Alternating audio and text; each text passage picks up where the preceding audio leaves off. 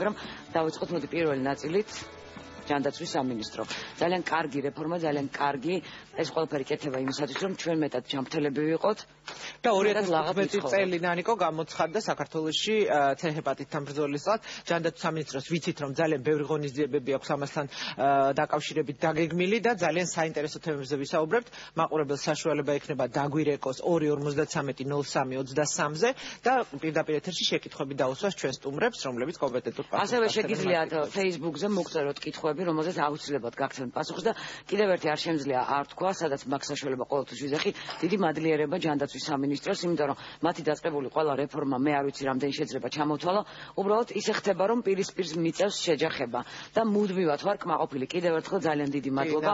არ ვიცი იმ დიდ გუნდს, რომელიც აი ამ ყველაფერს აკეთებს და განსაკუთრებით ცეჰეპატიტი, რომელიც ძალიან დიდი პრობლემა არის საქართველოში, ალბათ უკვე ნაკლებია პროცენტულობით დაავადებულთა რიცხვი, რომლებიც იყვნენ, იმიტომ რომ ძალიან ბევრი კარგი კარგი რამ კეთდება? მათთვის ძალიან ბევრი ადამიანის კონკრეტული სეგმენტების არის.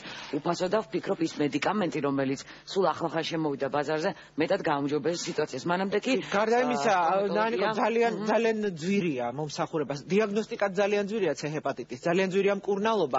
ამიტომ არა აქვთ ადამიანებს საშუალება ისეთ პირობებში როგორიც დღეს დავუშვათ საქართველოში ძალიან დიდი ნაწილი არის მოსახლეობის რომ იმკურნალონ. ამდენად უფრო მნიშვნელოვანია ჯანდაცვის სამინისტროს ასეთი აქტიურობა ამ მიმართულებით ჩვენ დღეს გავიგებთ რომ კიდევ ბევრი ახალი რამ დაინერგა ამ მიმართულებით. კიდევ ის რომ შემოწმდება ყველა სალონი, შემოწმდება სტომატოლოგიური კლინიკები.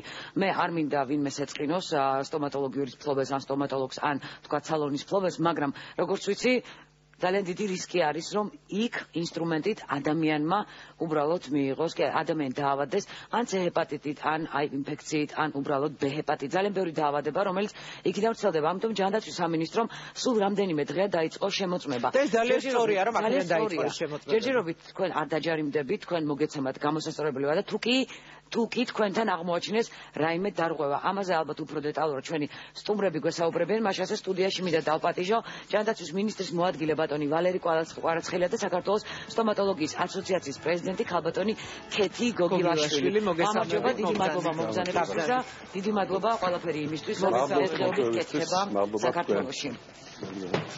დაბრძანდით.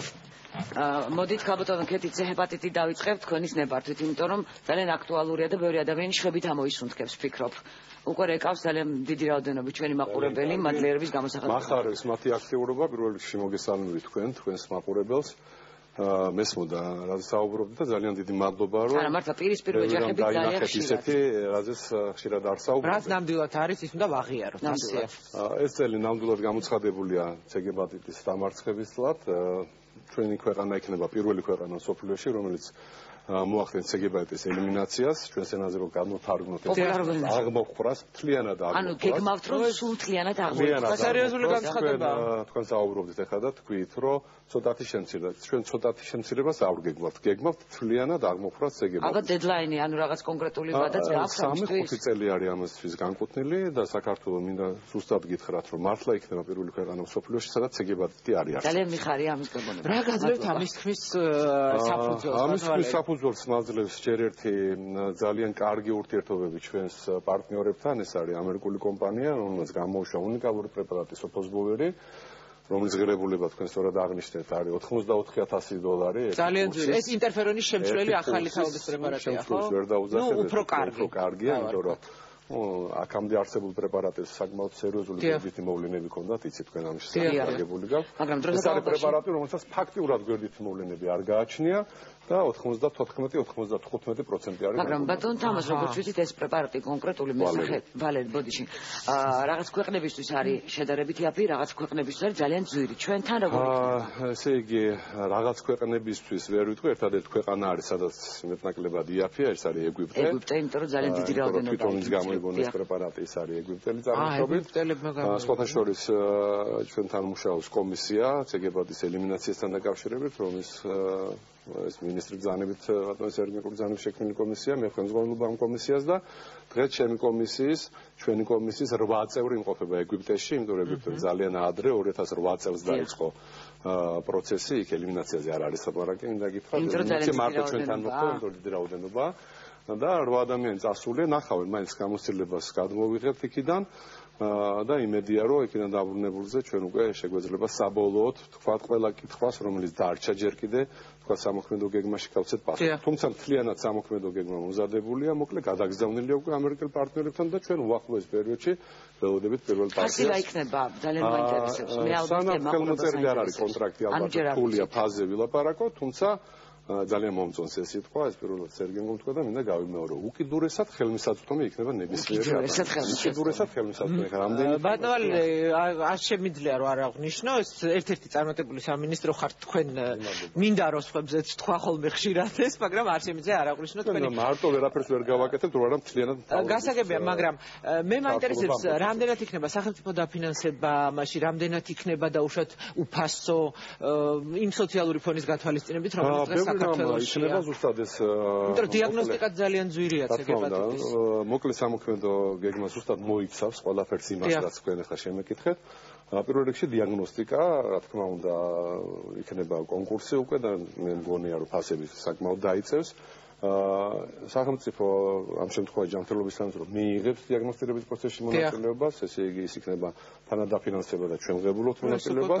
ხო, რაც შეეხება უმწევრობთათვის, მათთვის მე ზუსტად ვიცი, რომ თბილისის მერიას, ასევე ქუთაისის დიდი ქალაქების და მუნიციპალიტეტებსაც გამოყოფილი აქვს განკვეული თანხები და თანადაფინანსებისთვის რაც იქნება საჭირო, იმ თანხებს გაიღებენ. ძალიან კაცი იქნება. საქართველოს ესე იგი ესე უკიდურესად გაჭირვებულებისთვის იქნება დიაგნოსტიკა უფასო, დანარჩენებისთვის იქნება თანადაფინანსება. ძალიან კაცი. რაც შეეხება აზარი. უკვე ბევრი ზარებია. მოხდით გისმენთ, გამარჯობათ. მოგესალმებით. გამარჯობა. გამარჯობა. აა ოსმოდის აღმომაჩნდეს ჰეპატიტი. ამჟამად ცხოვრობ გავში, მაგრამ თუ შეიძლება ზუგდიდში დავდგე აგრეთვაზე. საბუთები მაქვს ნორმალ. მადლობა. მადლობა. მადლობა, შეიძლება უნდა დადგეთ აუცილებლად და ამის შემდეგ ჩვენ შევეცდებით რომ გალის საქართველოა და შევეცდებით რომ თქვენს გიმგობრებო. ანუ ძალიან კარგი და დაგესახლის ხო? მადლობა. კიდევ კარგი ძალიან ბევრი მაყურებელი, მაგრამ ამას ხალხო კეთის კითხა უკვე მომდენო ნაწილში სტერილიზაციაზე ძალიან ბევრი კითხვა იყო შეგვიძლია. აი სადაც თქვენი ჩართულობა ძალიან მნიშვნელოვანია, ეს არის სკრინინგი. ჩვენ რახან საუბრობთ ელიმინაციაზე, ესე ვსაუბრობთ იმაზე, რომ ყველა ადამიანი, ვინც არის ცეგებადიტის ვირუსის მატარებელი, უნდა აღმოვაჩინოს. ძალიან ბევრმა ეხა იცის რომ აქვს ეს ვირუსი, რეგისტრირებულია და თქვა მკურნალობისთვის ემზადება, მაგრამ ძალიან ბევრმა ბევრმა არც იკვლევს თავს, გამომდინარე იქიდან რომ არ ქონდა ინტერესი და არ ქონდა თქვა. ინტერესი არა, ჯერ ძალიან ბევრი ადამიანს ძვირი იყო ძალიან, ძვირი იყო ძალიან. მაინც ვერ ვიმკურნალებ, ამიტომ мотивация არ ქონდა და არ დგებოდნენ აერთვა. ჩვენ გავაკეთებთ სკრინინგს, გამოვიკლებთ ყველა ადამიანს, ყველა მოქალაქეს ამ ქვეყნის. აი ამაში არის თქვენი ჩართულობა. ტელევიზია ძალიან მნიშვნელოვანია რომ მოუწოდოთ ადამიანებს მიიღონ მონაწილეობა ამ სკრინინგში რომ გამოვავლინოთ ყველა ცეგებათი და დაავადება რომ იყოს საერთო ბაზა უკვე ეს ძალიან მნიშვნელოვანია. ეს როგორია სტატისტიკა დაავადებული თუ ზუსტი სტატისტიკა არ არსებობს ექსპერტების გაფლებით დაახლოებით 150-დან 200-ამდე ადამიანი არის მატარებელი ძალიან დიდი ციფრია ჩვენერი ქვეყნისთვის. თუმცა მარტის თვიდან იწყება დიდი გამოკვლევა რომელიც ალბათ უფრო დაზუსტებულ ინფორმაციას მოგცემს მე დიდი იმედი მაქვს რომ მართლაც მე ის ვერ დავიმახსოვრე ის ტერმინი. ელიმინ ელიმინაცია. ელიმინაცია. ელიმინაცია მართლაც არც ერთი ადამიანი არ იქნება C ჰეპატიტით დაავადებული და როგორც ვიცი, წყარო ინფიცირებისა შეიძლება იყოს თქვა სალონი სტომატოლოგიური კლინიკა. და კიდევ ძალიან ბევრი რამ ოღონდ ზარია კიდევ ერთი მოусმინოთ მაყურებელს და შემდეგ თქვენ გაგვიცით პასუხი. გისმენთ.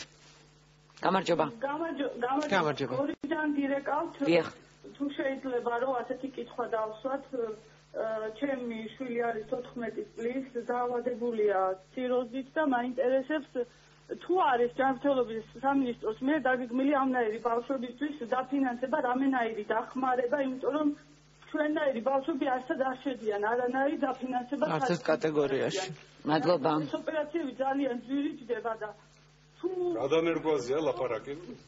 ტრანსპლანტაცია ჭირდება თქვენს ბავშვს? ტრანსპლანტაციაზე ლაპარაკი მე როგორც ვიცი ბათუმის კლინიკაში მართლა უკიდურესად ხელმისაწვდომია ძალიან მნიშვნელოვანი ოპერაცია ჩვენს ქვეყანაში ბათუმში. დიახ.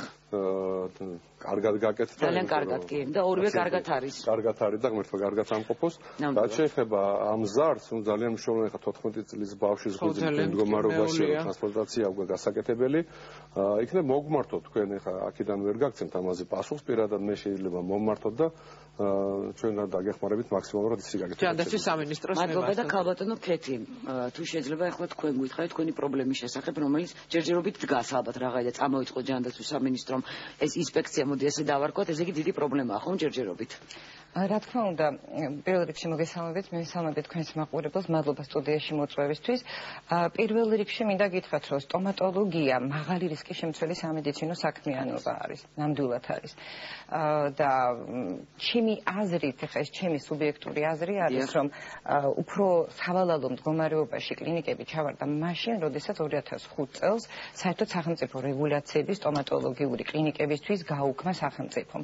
ეს იყო ის პერიოდი, როდესაც ძალიან ბევრი კლინიკა გაიხსნა და გაიხსნა ისეთი ალბათ არ არსებობდა არანაირი მოთხოვნები. ამიტომ ჩვენ სტომატოლოგები ვალდებული ვართ, რომ კეთილსინდისიერა და ღირსეულა ჩვენი საქმიანობა ვახორციელებთ. მაგრამ მხოლოდ კეთილსინდისიერება ესე იყო, იმიტომ რომ საერთოდ კონტროლს არ ექვემდებარებოდა. როგორც მაღალი რისკის შემცველი საქმიანობა, აუცილებლად უნდა დაექვემდებაროს კონტროლს.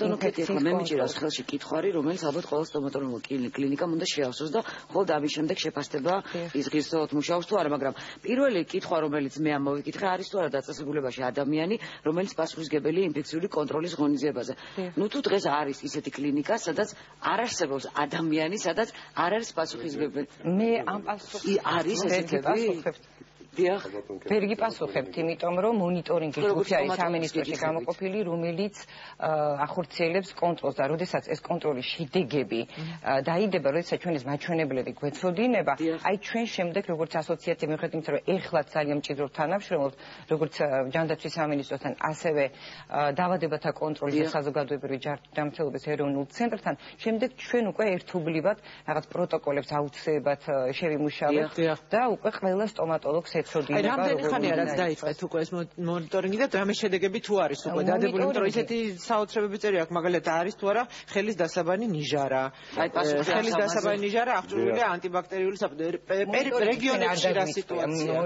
მონიტორინგი არის პრეროგატივა ჯანდაცვის სამინისტროს, მაგრამ საჯარიმო სანქციები არ არ მიმდინარეობს აი შემოწმება. რა თქმა უნდა, იმიტომ რომ ანუ ბადენ-ვალერისთან არის შეკითხვა. ბადენ-ვალერი მართლაც არის ისეთი კლინიკა საქართველოში, სადაც პასუხისმგებლობას არ იღებენ კომპანია არ არის და საუბედუროთ საუბედუროთ არის. აა ჩვენ დავიწყეთ მონიტორინგი. მე კალატონკეთის მინდა დიდი მადლობა უთხრა ყველაფერი იმისთვის რაც მოხდა იმიტომ რომ იცით თქვენ რომ ამცდელობა იყო გარკვეული პერიოდი წინ და მაშინ ეს დამთავრდა ლამის იყო რევოლუციით. ეხა ჩვენ იცი რამოდენიმე შეხვედრა გქონდა შევთანხმდით და ეს მონიტორინგი ძალიან ნორმალურად მიმდინარეობს არანაირი პრობლემა არ არის რა თქმა უნდა ისინი ჩართულები არიან ჩვენ კითხვარი არ დაგვიმალავთ წინასწარ გავაგზავნეთ კითხვარი დავდეთ ანუ მომზადების საშუალება მიეცით ხო? საშუალება ქონდათ. შედეგი მე ვიცი შუალედური შედეგები დაახლოებით 400-მდე კლინიკა არის შემოწმებული 400 კლინიკა საქართველოს მასშტაბით თუ თბილისი? ჯერჯერობით ეს მხოლოდ თბილისში მიდის ჯერ თბილისი უნდა დავამთავროთ მე გადავალთ უკვე რეგიონებზე. 400 კლინიკიდან 58 კლინიკა საერთოდ მუშაობდა შეტყობინების გარეშე ეს ნიშნავს რომ ის ეწეოდა არაკანონიერ სამედიცინო საქმიანობას გავაკეთებთ კლინიკის გარეშე ანუ არ იცოდა არავინ მის არსებობა ასე არსებობა. ყოველ შემთხვევაში მათ ევალებათ რომ გახსნიან კლინიკა შეატყობინონ ჯანმრთელობის სამიზრცხლოს კლინიკა არსებობს. ჩვენ ახლა ვამოწევთ მხოლოდ ინფექციური კონტროლის კუთხით. არანაირად სხვა კლინიკა სადაც ჰიგიენა არ არის დაცული და რა თქმა უნდა რა თქმა უნდა. პირველადი მონაცემები ძალიან ცუდია მინდა გითხრათ მაგრამ ეს არ ნიშნავს იმას რომ ეს არ გამოსწორდება. ჩვენ იმედი მაქვს რომ ორთვის ვადას რასაც ვაძლევთ ამ ვადაში ეს ყველაფერი გამოსწორდება იმიტომ რომ შემდეგში უკვე ცოტა უფრო სერიოზული. ახლა თუ მონიტორინგია მე დაიწყება უკვე შემდეგში ეს კითხვა მაქვს. თუ არსებობს სტატისტიკა რამდენი ადამიანია დაინფიცირებული სწორედ სტომატოლოგისგან? ესეთი სტატისტიკა პირდაპირ არ არსებობს თუმცა სოფლიოში არის გარკვეული პროცენტი იმიტომ რომ როგორც კალბატონმა კეთი მძანა სტომატოლოგია არის მაღალი რისკის დაწესებულება. ნუ სტომატოლოგია დატუ სალონები სილამაზის სალონები. იგივე სისხლის გადასხმა სადაც კეთდება იგივე ჰემოდიალიზი იგივე სადაც ოპერაციები ყველა ეს არის მაღალი რისკის მატარებელი. ამიტომ აქ განსაკუთრებულად უნდა შევიდეთ განსაკუთრებული პრევენცია ჭირდება და განსაკუთრებული ინფექციებზე კონტროლი გჭირდება იქიდან გამომდინარე რომ ჩვენ ვაპირებთ ელიმინაციას ესე თქვა დაიმოწმოთ ელიმინაციას დავიმახსოვრებთ ეს შემდეგ აი რა სიტუაციაა სალონებში ამ ხრივ? იმიტომ რომ ნუ ყველას გვაქვს ეს პრობლემა. აა აქ ბრძანეს რომ 2005 წლიდან რეგულაცია არ არსებობდა სტომატოლოგიურ კლინიკებზე და სალონებზე. ნუ ხო საერთოდ არ არსებობდა.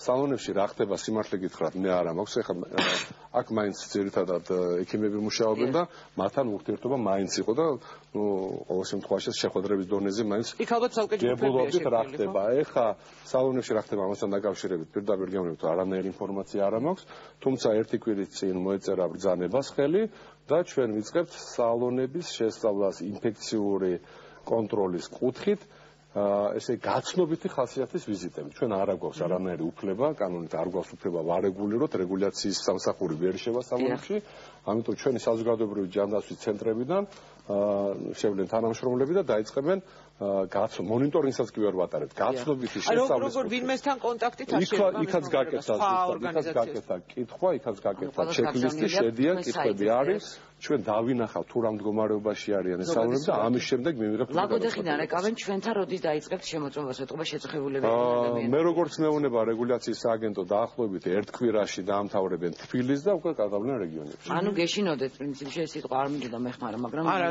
ძალიან საჭირო პროცესია. მაგრამ არსებობს საიტზე ქალბატონ ქეთისთან და ჩვენ საიტზეც კითხვარი და იქნება აიღონ კითხვარი და მოიმზადონ რომ მიხვალთ დაგვდენ სიტუაცია არ იყოს საჯარიმო. და ნუ დაკეტავენ აი ძალიან მინდა გავაფრთხილოს უყოლა, იმიტომ რომ ძალიან ბევრი სტომატოლოგიური კლინიკა თუ კაბინეტი ჩვენს თანამშრომლებს დახვდათ დაკეტილი. ეს არ ნიშნავს იმას, რომ მეორეჯერ არ მივლენ. მეათეჯერაც მივლენ, იმიტომ რომ ჩვენ ძალიან დიდი პასუხისგებლობა აქვს აღებული. ამხელა თანხის, ამხელა აა ესე ფინანსები რო ჭირდება ისეთ წამალს არავინ არ იძლევა. ისე ჩვენ გვაქვს პასუხისგებლობა აღებული რომ ჩვენ მართლა გავაკეთებთ ელიმინაციას. ამიტომ მეათეჯერაც მივალთ. მეათეჯერაც მივალთ და თქვენ დაკეტავენ ავტომატურად შეიძლება. ზარი გვა გისმენთ გამარჯობა. ალო გისმენთ? მოგესალმებით. გამარჯობა. შეკითხვა მაქვს ასეთი. ყავს შვილი ჰემოფილიით დაავადებული დაბადებიდან. შვილი წლის ასაკში გადაუცხეს სისხლი და იმის შემდეგ არის C ჰეპატიტით დაავადება. ეხლა არის 24 წელი. შეიძლება აი ამ კურნალობის ჩატარება ჰემოფილი დაავადებულების. იმისათვის ბატონო თითქმის 99% ჰემოფილიკები არიან დაავადებულები. მე კონკრეტულად კონკრეტულად ჰემოფილიასთან დაკავშირებით მე ვერ გეტყვით ახლა მე არა ვარ გეპატოლოგი, ამიტომ ეს თქვენ ვისთანაც კურნალობთ ცეგებატიც იმ ექიმთან იმ კლინიკაში უნდა იკითხოთ. თუ შეიძლება მათი მკურნალობა მე ერთი რამე შემიძლია გითხრათ რომ აუცილებლად უმკურნალებთ. და ერთი რამე მინდა ძალიან კაცრად აქვე თქვა რომ კრიტერიუმი მკურნალობის იქნება მხოლოდ ავადმყოფის მდგომარეობა. აქ ნათესაობა მეგობრობა ზვაგაცრუა გამორიცხული ერთადერთი კრიტერიუმი და ამას თქვენ დაინახავთ იმიტომ რომ ეს გაკეთება ჩვენ ძალიან გამჭირვალე თუ აპირებთ იქნება ავამტყოფის და მისი ხვიზლის ძალიან საინტერესო თემაზე ვსაუბრობთ ჩვენი სტუმარია ჯანდაცვის მინისტრის მოადგილე ბატონი ვალერი კვალარცხელი და ხალბატონი ქეთი გოგილაშვილი საქართველოს სტომატოლოგიის ასოციაციის პრეზიდენტი თქვენის ნებართვით ქეთისთან მაქვს. კითხვა ძალიან ბევრი ადამიანი გწერს სტერილიზაციაზე. თუ კი არის საშუალება დღეს საქართველოში რომ მათ შეიძინონ სწორედ ის სასტერილიზაციო აპარატურა რომელიც პასუხისგებელია ნამდვილად კარგ სტერილიზაციაზე. ცოტა რთულად ჩამოვაყალიბე ძიანდება, მაგრამ მაინც რა თქმა უნდა, ყველა საერთოდ ინფექციის კონტროლი სტომატოლოგიური კლინიკების ფუნქციონირების ერთ-ერთი უმთავრესი პირობა არის. ამიტომ სტერილიზაცია და დეზინფექცია ეს ერთად აღიქმება. არ შეიძლება სტომატოლოგიურ კლინიკაში სხვადასხვა, მაგრამ აუცილებლად ორივე უნდა ხორციელდებოდეს, იმიტომ რომ ჯერ წინა სასტერილიზაციო დამუშავება, იმიტომ დეზინფექცია, იცით, დეზინფექციის დროს ნადგურდება მიკროორგანიზმები, მაგრამ არა სპორები, ანუ არა მიკროსკოპული ჩანასახი, რომლიდანაც შესაძლებელია შემდეგ გამრავლდეს და გავრცელდეს და სტერილიზაცია უზრუნველყოფს სპორების ჩათვლას. ანუ რამდენიმე საფეხური უნდა გაიაროს ინსტრუმენტმა, ხო? ამდენად დეზინფექცია უკეთდება ინსტრუმენტს, მაგრამ შემდეგ აუცილებლად უნდა მოხდეს სტერილიზაცია, იმიტომ რომ ის სპორებიც, ის ჩანასახებიც აბსოლუტური ელიმინაცია, ანუ მისი განადგურება. ელიმინაცია. ანუ ეს რაღაც პროცესია თანმიმდევრული ეტაპობრივი და ამას სჭირდება სპეციალისტი. ხომ ვერ გავიგებ მაგალითად. ერთობლივად უზრუნველყოფს ჩვენი პაციენტების და არა მხოლოდ ჩვენი პაციენტების. ჩვენ რატო ვარ ძალიან აქტიურად ჩართულები რომ არა მხოლოდ პაციენტი, ჩვენი საკუთარი თავის, ჩვენი თითოეული თანამშრომლის ჯანმრთელობაზე. პირველ რიგში თანამშრომლებმა ხონდა გაიკეთონ დიაგნოსტიკა ჩაიტარო. ან პირველი რისკ ჯგუფი ალბათ მაინც სტომატოლოგია ხო, რომელსაც შეიძლება კონდეს. ხო, ეს არის ამაზე კონტროლი. ნებისმიერი ექიმი რომელსაც შეიძლება არის, რა თქმა უნდა, მაგრამ ეს ჩვენ სხვადასხვა ქონდა ამაზე საუბარი, უნდა ჩაიტაროს ძალიან კარგია და ალბათ უნდა ჩაიტაროს ხა წელიწადში ერთხელ ჩვენ მაგალითად ვატარებთ ხო ამ იმას. თვითონ სამედიცინო სავალდებულოა ეს, ხო? მაგრამ ეს არ ნიშნავს იმას, რომ ამას რაღაცა გავლენა ექნება, პაციენტი ან ექიმის ან დისკვალიფიკაცია ან ასე შემდეგ. იმიტომ რომ ჩვენ აი მე სტუდენტებსაც, ექიმებსაც სულ მაგ 수혜 원의 비롯 ნებისმიერი ჩვენი პაციენტი სტომატოლოგიურ კაბინეტში უნდა მივიღოთ ისე როგორც ინფექციის მატარი ანუ როგორც დაინფიცირებული არის თუ არა ის მაგრამ ჩვენ არ ვიცით ყველა ვიღაცა გვეუბნება თანხლები დაავადების შესახებ ან საერთოდ არ ვართ ხომ ინფორმირებული იმიტომ რომ სამწუხაროდ ჩვენ გამოვალინეთ ისეთი შემთხვევები ასოციაციაში პროექტ ჩავატარეთ რომ სტომატოლოგთა 11%-მა უარი უთხრა პაციენტს გამხელილი დიაგნოზის გამო სტომატოლოგიურ მკურნალობაზე ეს იცით რატომ მოხდა? იმიტომ იმიტომ რომ ექიმები, სტომატოლოგები სამწუხაროდ არ არიან ინფორმირებულები საერთოდ სისხლის გზით გადამდებთ დაავადებებს, არ აქვთ ინფორმაცია. ეს თვითონ გთხოვეს. ჩვენ სამინისტროსთან ერთად ხარდაჭერი ჩავატარეთ ძალიან დიდი კონფერენცია სტომატოლოგია ჰეპატიტის ელიმინაციის პროგრამაში. ეს კითხვა არის Facebook-ზე გადამდებია და როგორ გადადის ჰეპატიტი მანამდე სტუმარს მოусმინოთ, მაყურებელს მოусმენთ, რომელიც გვირეკავს, გისმენთ. გამარჯობა, გამარჯობა. მოგესალმებით. გამარჯობა. მაქვს ესეთი სკრინინგი რომ ახსენეთ თქვენ ხა თქვენ მეგვიან გადავთე. ამ სკრინინგში თუ შედის თვისობრიობა და გენოტიპირება რაც არის ძალიან ძვირადღირებული 15 ლარიან და 20 ლარიანს ყველა გავიკეთებთ ეთყობა ნამდვილად გვიან გადმორთეთ კავატონო იმიტომ რომ ეს სკრინინგი თქვი რომ ჩავდარდება ყველას მაგრამ მანამდე თქვი ის დიაგნოსტიკური გამოკვლევები რომელიც არის ძვირადღირებული ამაში სახელმწიფო ღებულობს მონაწილეობას. თუ საჭირო თავიდან მოხვევი მაგრამ მე მგონი გადახოვის პროგრამა ყველა ტელევიზიას აქვს თუ გადააქვს მოკლედ ეს პრობლემა არ არის. გაიგეთ რომ ესე არ არის და მარტო სკრინინგზე არ არის ლაპარაკი. გასაგებია. გაგზავნით თუ შეიძლება ერთი კითხვა აქვს ძალიან ბევრ მაყურებელს როგორ გადადის C ჰეპატიტი? მე როგორც ვიცი ინტრავენული დიდი პროცენტი. მხოლოდ სისხლური დაავადება. ქავდანქეთი აი გამიშთა ესე შეკითხვა მე როგორც პაციენტს დაუშვათ რა უფლებები მაქვს. ალბათ არ შემიძლია რომ ვიკითხო მოვიდე თქვენთან კლინიკაში და აი როგორ არის დაცული დაუშვათ ეს ჰიგიენური პირობები და სტერილიზაციის პროცესი ვერც ვერ ყვევი ამაში ეს არ არის ჩემი კომპეტენცია. ნებისმიერი პაციენტის უფლება არის შეკითხვა. ანუ დასვას შეკითხვა და იყოს ინფორმირებული ნებისმიერ კლინიკაში სტერილიზაცია დეზინფექციის შესახებ. იმიტომ რომ ანუ ამის უფლება მაქვს მე პაციენტს. უფლება გაქვთ რომ იკითხოთ რა თქმა უნდა და ნუ იქ ყვალ პასუხისგებელი პირი, ან თვითონ ნებისმიერი ექიმი ხა კლინიკაში უნდა იყოს ამაზე წესით პასუხისგებელი, თუმცა ერთი პირი უნდა იყოს გამოყოფილი და თქვენ შეგიძლიათ გაისაუბრო და მიიღოთ სრულ თქვენ გაქვთ ამისი უფლება რომ მიიღოთ სრული ინფორმაცია ამის შესახებ. არ მარტო უფლება გაქვთ, მე მოგიწოდებთ რომ იკითხოთ კიდეც, იმიტომ რომ აა ზუსტად საზოგადოების ჩართულება მთელ ამ პროცესში ამაში გამოიხატება რომ ისინი იყვნენ ძალიან ფრთხილები ამავე დროს იყვნენ ყურადღებით და თუ რაღაცას შეამჩნევენ ისეც რომელიც თქვა აა მეუღებელია ამის შესახებ გვაქვს. არის რაიმე ცხელი ხაზი არსებობს, სადაც შეიძლება რომ დაარეკოს. განთელობის სამისლის გადასტარებით ცხელი ხაზი აქვს, სადაც ყველა პრობლემას მეტნაკლებად წყვიტავენ და მათ შორის ამ კითხვებზეც გაგცემენ პასუხს 15 ნოთში. ბატონო, კითხვა მაქვს შეიძლება. ეხეთ რა მაინტერესებს თქვენ ლაპარაკობდით მონიტორინგთან დაკავშირებით. აი რა საკიდან შეიძლება დაუშვათ გამოვთქვათ სრული რომ ამ ბავშვები ან მოზარდები მივიყვანოთ, იმიტომ რომ ალბათ არსებობს კიდეც რაღაც ასაკი, როცა შეიძლება რომ იყო უკვე ბავშვებზე ძირითადად არ არის დავადება მეტნაკლებად თითქმის არ არის, ამიტომ სკრინინგში ბავშვები ვერ მიიღებენ მონაწილე თუ რაღაც რისკ ჯგუფში აღმოჩნდა. არის სტომატოლოგებთან ისინი დადიან პრინციპში. რისკ ჯგუფში აღმოჩნდა, ხა სტომატოლოგი არ არის ისე რომ ყველა ვინც მივიდა ის დაავადდა, ღმერთო დაგვიფაროს რომ ეს ასე იყოს. ამ შემთხვევაში რა თქმა უნდა შეიძლება ჩაუდარდეთ თქვა გარკვეული ტიპის გამოკვლევები, რომელიც არსებობს ამ ქვეყანაში, მაგრამ ძირითადად ეს არის მაინც 19-დან 60 წლამდე. აი ამას აქ. მანამდე რაღაც სპეციალური მიმართულებით ექიმობა არა თბილისიდან ჩვენთან როდის დაიწყებაო? დაიწყება ძალიან მალე თქვენთან ასევე ძალიან ბევრი ადამიანი რეგიონებიდან ალბათ რეგიონებიდან რეგიონებიდან. და ამას გარდა რეგიონებიდან ძალიან ბევრი ადამიანი კითხულს აღრიცხვაზე როგორ უნდა დავდგეო ალბათ ჩვეულებრივად ვინცაც უკვე გამოვლენილი აქვს და ვინც იცის რომ არის ცეგებატიტის ვირუსის მატარებელი ის კურნალობს უკვე გარკვეულ კლინიკებში არის რეგისტრირებული და ამ შესახებ თვითონაც იცის და ჩვენც ვიცით შემთხვევით როცა დაიწყება უკვე ელიმინაციის პროცესი ამ შემთხვევაში ყველას დავარეგისტრირებთ ეს იქნება სააგენტოების მეშვეობით ჩვენი სოციალური სააგენტოების მეშვეობით იმიტომ რომ მათ ბევრი აქვთ ოფისი რიგები რო არ გაჩნდეს სოციალურ სააგენტოებში დარეგისტრდებიან ამ ინფორმაციას ჩვენ მივიღებთ ცენტრში აქ არის სპეციალური კომისია რომელშიც შედის კლინიცისტები არასამთავრობო ორგანიზაციები თქვენი კოლეგები და იქ ყველა თითოეულ შემთხვევაში იქნება მიღებული გადაწყვეტილება მკურნალობა ჩართვასთან დაკავშირებით. კიდევ ერთხელ ვიმეორებ, ყველას უმკურნალებთ, მხოლოდ პირველ რიგში სამკურნალო წაერთებია ისინი, ვისაც აქვს სერიოზული დაზიანება ღვიძლის და ეს კრიტერიუმები იქნება გამოქვეყნებული. ზარი გვაქვს გამარჯობა. გამარჯობა. გამარჯობა.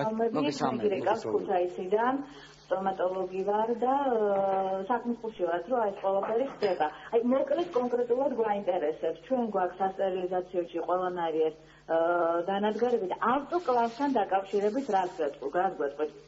აუცილებელი იქნება თუ არა? მადლობა ზარისთვის. შენ სტომატოლოგს აქვს ავტოკლავი ეს? კარგია? აი, გეტყვის. ვიპასუხებ ციამოვნებით. ავტოკლავი ერთ-ერთი უნიშნელოვანესი სასტერილიზაციო საშუალებაა.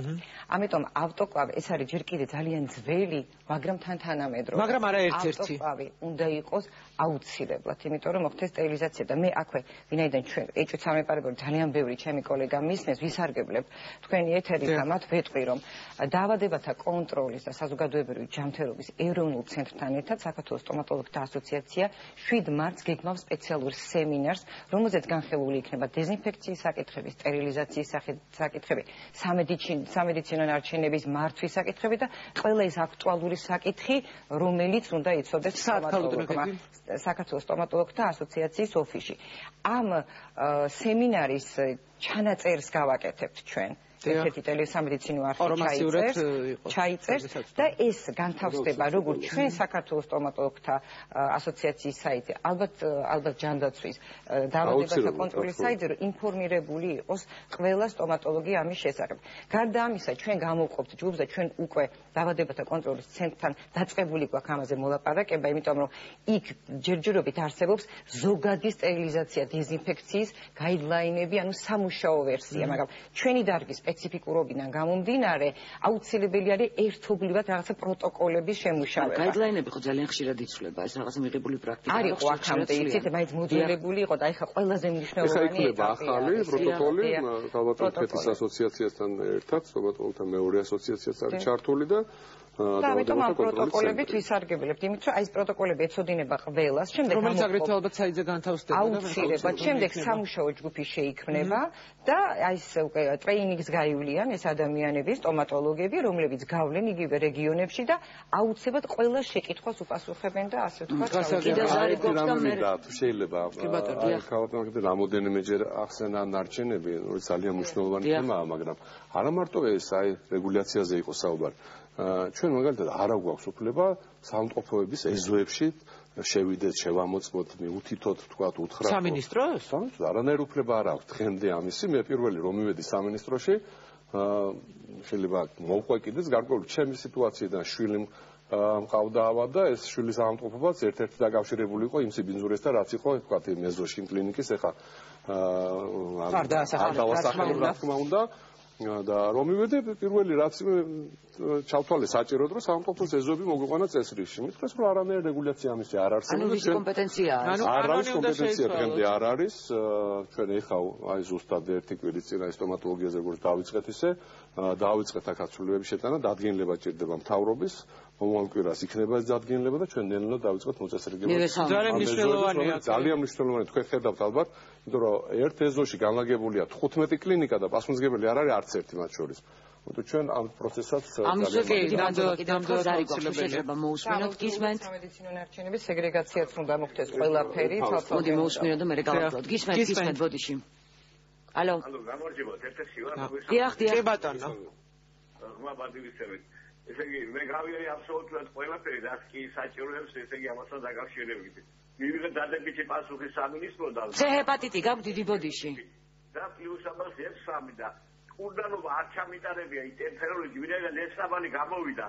ხოდა ველოდებია თუ შეიძლება ესე ისე ესე იგი ეს ყველაფერი დამეთქისდეს და ისე არ ჩაუტარებელი კურდანობის წინაგან ესე იგი ამ წამალის იმაში ჩავიდე დიდი ბოდიში რამდენი წლის ბრძანდებით 49 და როდის დაადგინეთ რომ თქვენ გაქვთ ცეჰეპატიტი დაადგინე დაახლოებით 3 წლის უკან მადლობა ზარისთვის. დიდი მადლობა. დიდი მადლობა ზარისთვის. რა თქმა უნდა, კიდე ერთხელ გავიმეორებ, გიდასტურებთ, რომ თქვენ აუცილებლად ჩაერთვებით კურნალობის პროცესში. დიდი აქტივობა არ ვიცი ეს კარგია თუ ცუდი, კარგია რომ აქტივობა. კარგია, გამომდინარე იქიდან, რომ ადამიანები მიხვდნენ, რომ ცეგებატიდი განკურნებადია, ეს იყო ძალიან მნიშვნელოვანი ამ ეტაპზე. აა იმიტომ რომ ზოგიერთ ხელიც კი ქონდა ჩაქნეული და ფიქრობდა რომ ის უმეტეს იმედი გაჩნდა როცა სახელმწიფო ჩართულობა დიდია და დაფინანსება შეუძლია რომ აა მაყურებელს პირდაპირ უნდა მიმართოთ ცეგებატიტი განკურნებადია და საქართველოს იქნება პირველი ქვეყანა მსოფლიოში რომელიც იცხოვრეთ ცეგებატიტის გარეშე. მე ამაში მინდა თქვენ დაგარწმუნოთ უყოლა და მე იმედია მექნება საშუალება როცა ამ პროცესს მოვრჩებით ელიმინაციის პროცესს. ელიმინაციის. კიდე შეხვდებით ერთმანეთს აუცილებლად. რომ ნამდვილად ესეა. რა კარგია იმედი. ეს კითხე თუ შეიძლება სტუმარსო ქალბატონი რომელიც დიალიზზეა და მას ჰეპატიტი აქვს 800 ლარი თხოვესო რაღაცა კონკრეტული ანალიზისო ამ შემთხვევაში თუ სახელმწიფო თანადაფინანსებაში მიიღებს მონაწილეობასო ცე ჰეპატიტთან დაკავშირებით რაც იქნება გამოსაკვლევი ყველაფერში სახელმწიფო მიიღებს მონაწილეობას. დიდი მადლობა. ცხელი ხაზის ნომერი შეახსენეთ მაყურებელს 05 რომელზეც ყოველთვის პასუხობენ და კარგად. კიდევ 15:05 ორი არ უნდა არაფერი არ უნდა 15:05 არაფერი არ უნდა 15:05 და კიდევ ერთი კითხვა რეგიონებიდან გწერენ კვლავ. ეს კითხვარები განთავსდება თქვენს გვერდზე ხომ? განთავსებულია უკვე და არა გაიდლაინები ახალი რომელიც იქნება და შეჯერდება ის რა თქმა უნდა ის განთავსდება ალბათ მარტის ბოლოს მარტის ბოლოს თქვენ შეგიძლიათ შებძანდეთ მე დავდებ ლინკს ჩვენთან Facebook გვერდზე და თქვენთან აკონტროლეთ. თავად მარტის დასწრებში უკვე დაიდება ახალი კითხვარები ძალიან ბევრი კითხვარი ის იმიტომ რომ ძალიან ბევრი მადლობა. დიახ. და ტატუ სალონები, ასევე მე მგონი ინფიცირების დიდი საშიშროება არის სწორედ აი აპარატიდან. მაღალი რისკის მატარებელია. ეცე შემოწმება. ტატუ სალონები და სილამაზის სალონები ასევე მაღალი რისკის მატარებელი დაწესებულებებია. ბრძანება კიდევ ერთხელ გავიმეორებ გამოიცა ერთი კვირის წინ. უკვე გაცნობითი ხასიათის ვიზიტებზე მე ვერიდები ხოლმე. მონიტორინგ შემოწმებას მე ბიზნესიდან მოვიდი ამ თანამდებობაზე ძალიან კარგად ვიცი რა ნიშნავს ბიზნესზე ზეწოლა ამიტომ განსაკუთრებული რეგულაციები, დიდი შემოწმებების მომხრე არა ვარ, მაგრამ ის რაც არის პასარეკულები ის აუცილებლად დარეგულირდეს. ხო, მაგრამ როცა ადამიანის ჯანმრთელობას საერთოდ რეგულაციის გარეშე დატოება იმ დაწესებულება, რომელიც არის ძალიან დიდი რისკის მატარებელი. ასეთი არის ეს სალონები. ამიტომ პირველ ეტაპზე არანაირი შემოწმება არ იქნება, არანაირი ჯარიმები არ იქნება, ერთადერთი იქნება მოულე საზოგადოებრივი ჯანდაცვის ცენტრებიდან თანამშრომლები და დაინახავენ თუ რა მდგომარეობა არის ამ სალონებში ინფექციის კონტროლის კუთხით. ამის შემდეგ ჩვენ უკვე დავიწყებთ იმაზე ფიქრს თუ ვთქვათ როგორ მოვიცეთ შემდეგში. ერთი კითხვა არის, არ ვიცი, ალბათ მან დავსვა რახან მოგწერეს ელექტრობრიტვები რითიც თვასჭრიანო, თუ არის საშიშროება რომ იქიდან გადაიტანოს რაიმე დაავადება. ის რომ მაკრატლით რო გაგიჭრან. არ შეიძლება კარგ დალაგთან უნდა მივიდნენ, რომელიც თავს არ ჭერს. ანუ ის არ ადგენს. ამა კანს არ გაგიჭრან. ამა დეზინფექცია არ ჭირდება, ცხადია, ხო? რა ვიცი. ძალიან დიდი ხოდი შესაძლოა დამესვა ყველა მაყურებლის კითხვას, ვცდილობ რომ ამოვიკითხო. მართლა ძალიან დიდი აქტივობაა, რაც ნიშნავს რომ არ მალავენ უკვე აღარ სწვენიათ ამ კითხვის დასვა და აღარ სწვენიათ რომ არაფერი ამას სამართლო არ არის, მინდა გითხრა, ცეგებატიტი არ არის დაავადება, რომელსაც უნდა თქვენ საერთოდ არც ერთი დაავადების დამალვა არ არის საჭირო. ყველა პაციენტი ჩვენთვის ერთნაირია და ძალიან კარგი კანონი არსებობს ამ ქვეყანაში. პაციენტთა უფლებების დაცვის შესახებ, რომლის შესახებ ძალიან ბევრმა არ იცის, თუ მიგიწვდებათ ხელი წაიკითხეთ და მიხვდებით, რომ არც ერთი დაავადების დამალვა არ შეიძლება. ჩვენ მზათა ვართ კიდე ერთხელ ნებისმიერ ადამიანს უპასუხოთ მივხედოთ უმკურნალო ძალიან კარგი ძალიან ცუდია რომ პროცენტულად ძალიან დიდია ამ დაავადების რაოდენობა საქართველოში მაგრამ თუ იქნება რაღაცა აი რისკ ჯგუფები და რაღაც ეტაპობრივად როგორ მოხდება მათი აუცილებლად მინდა მე თქვა ძალიან კარგი კითხვა დიდი მადლობა ამ კითხვისთვის სკრინინგს როცა დავიწყებ ჩვენ დავიწყებთ რისკ ჯგუფებიდან და დავიწყებთ ორგანიზებული ჯგუფებიდან რისკ ჯგუფები შედიან იგივე სტომატოლოგები სხვა პროფესიის ექიმები ქირურგები გინეკოლოგები თქვა ვისაც ისთან აქვს შეხება სისხლის გადასხმა სადაც კეთ კეთდება. ამის გარდა არის ორგანიზებული ჯგუფები, რომელშიც ისედაც კეთდება გარკვეული დონის სკრინინგი და ჩვენ პირველ ეტაპზე ამათ მოვიცავთ იმისთვის, რომ გაგიადულდეს პროცესი. ეს არის თქვა ორსულები, ეს არის სამხედროები, პოლიციის თანამშრომლები, ესენი არიან წლევანდელები, რომელიც თქვა 18 წლის გახდა მივიდა. ხო, ეს რაღაც სავალდებულო იქნება, ხო? სოციალურად დაუცველები. სოციალურად დაუცველი თავისთავად არ გამიგითხარ არა მარტო სკრინ სკრინინგი ყველასთვის უფასო იქნება. რაც შეეხება აა კიდევ ერთხელ რომ უთხრათ მაყურებელს. სად უნდა მოვიდნენ კონკრეტულად? გარდა იმისა რომ 15.05-ზე უნდა დარეკონ თქვენ ხელხაზე. არის ცენტრები. მომავალში კიდე უფრო მეტი იქნება ეს ცენტრები იმიტომ რომ ჩვენ კონკურსს ვაცხადებთ ამ კონკურსის შედეგად კიდე ავარჩევთ რამოდენიმე ცენტრს დღეს არსებობენ ინფექციური კლინიკები არსებობენ დაწესებულების სამედიცინო დღეიდანვე შეუძლიათ მისვლა. ნებისმიერ დროს ისინი დამრწმუნეთ რომ უკვე არიან რეგისტრირებული. ანუ ეს იმდენად მარტივია რომ არც კი ჯერა რომ ასე ასე მარტივად არის. განსხვავებული ეხა მე სულ მისვამენ ამ კითხვა. არ იქნება არანაირი განსხვავებული კლინიკა. არა, არ იქნება არც განსხვავებული კლინიკა ან განსხვავებული ადგილას მისვლა საჭირო. ჩვეულებრივად სადაც დადიოდით, იქიდან გიმკურნალებთ, იმიტომ რომ ჩვენ უკვე გვაქვს მოსახლეობას და ამიტომ არის ჩვენ უკვე გვაქვს ინფორმაცია იქიდან სადაც თქვენ მკურნალობთ. უკვე გვაქვს ინფორმაცია დაახლოებით 5000 არაფერი არ გამომიმალება ჯანდაცვის სამინისტროში. აა პრინციპში არ არის საჭირო განსაკუთრებულად სადღაც მისვლა. ეხლა სულ ეკითხულობენ, სადმო მივიდი? არც არ უნდა მიხვდეს, სადაც ხართ, იქ უკვე ხართ აღრიცხვაზე და ჩვენ ვიცით ამ ძალიან დიდი მადლობა დიდი მადლობა. ხუთი წელიოთ ასე ასე თქვით ხომ? ხუთი წლის განმავლობაში ძალიან მინდა სამში მოხდეს მაგრამ ნუ ხუთი მაგრამ ხუთი ავიღოთ მოდი. ის ტერმინი მაინც ვერ დავიმახსოვრე მაგრამ აღმოფხვრილი ელიმინაცია. ელიმინაცია თავიდან ბოლომდე C ჰეპატიტი დიდი მადლობა კიდევ ერთხელ. მადლობა. ჯანდაცვის სამინისტროს ზოგადად მართლა კიდევ ერთხელ გამოვხატავ მადლიერებას. როგორ წითლდები ხოლმე მაგრამ ეს რეკლამის რეკლამის შემდეგ